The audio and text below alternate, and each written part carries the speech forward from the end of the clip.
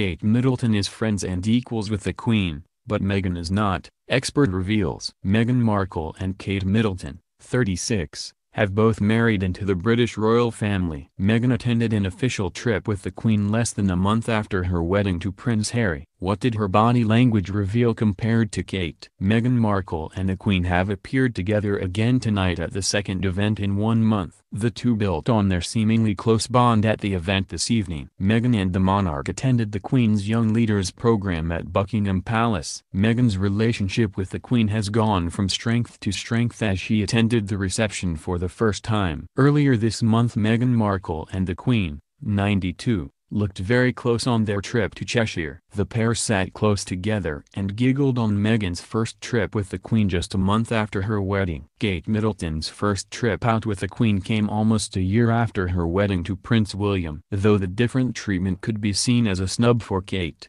a body language expert reveals it may have given the Duchess of Cambridge the upper hand.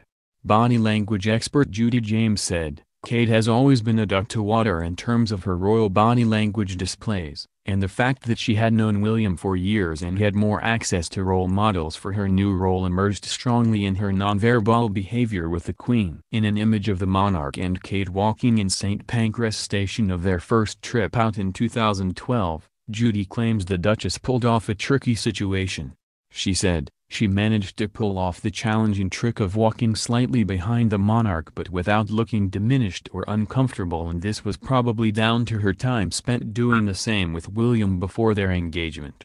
Her ability to do this allowed her to manage her communications with the Queen to the point where the two women look like friends and almost equals. Meghan, on the other hand, looks less relaxed and lower status next to the Queen, Judy said. The body language expert told Express Co. UK, Meghan was thrown into the deep end when she married Harry with little or no royal experience, and although she is clearly putting in an industrial strength effort to develop her royal poise and body language the fact she is having to learn on the job seems to have created a very different balance between her and the Queen. The shared laughter and affection signals look very similar to Kate's poses but Meghan is currently looking more like a granddaughter-in-law than female friend.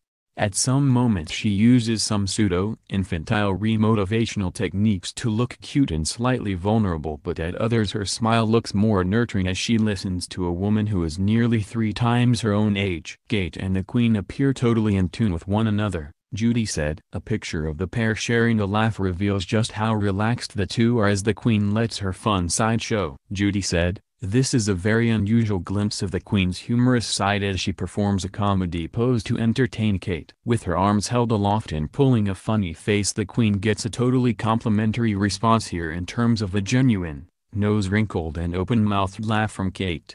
The two women look totally in tune here, so much so that the Queen is getting nonverbal encouragement to show even more of her fun side. Meghan on the other hand shows that she is keen to make a good impression. Judy said, Meghan's pose here is pseudo-infantile, suggesting a desire to look young and quite cute in a bid to make a complimentary and favorable impression on the Queen.